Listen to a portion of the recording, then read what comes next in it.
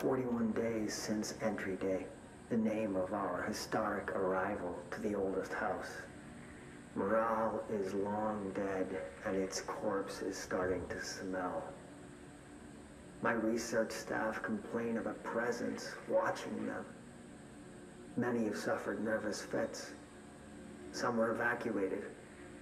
In cheerier news, I've made some new friends.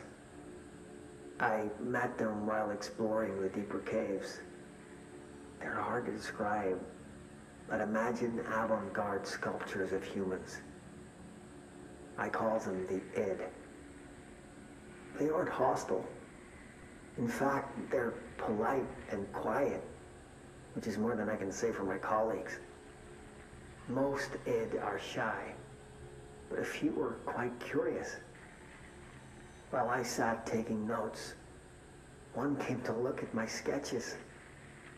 I offered him my pencil, but that spooked it. What are the id? Residents? Prisoners? They remind me of the golems from Kabbalistic texts, or a type of homunculi. I know I shouldn't, but I gave them names. There's Hercules, Adam, Lilith, Copernicus. Mabel is the bravest. They're a funny bunch.